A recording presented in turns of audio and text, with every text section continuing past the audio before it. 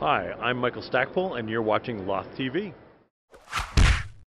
Hi, this is Josh with Loth TV. I'm here with Michael Stackpole. How are you today? I'm doing great. How about yourself?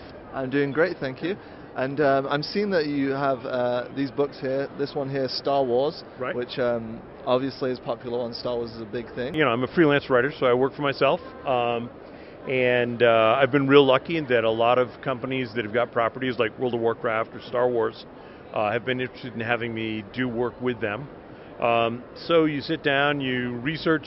You know, if you were if you were writing a medieval novel, you'd research the history. So in these things, you know, you have to play the games or watch the watch the movies and read everything else and, and learn everything there is to learn. And then you set stories in there, and hopefully with the right with the right feel, um, turn out something that people really really like.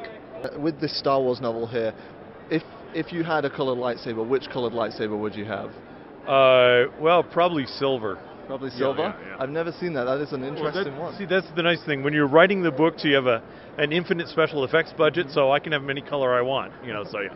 And um, is there a website that uh, people could go to to buy these books and read these stories? Oh, sure, yeah. Stormwolf.com.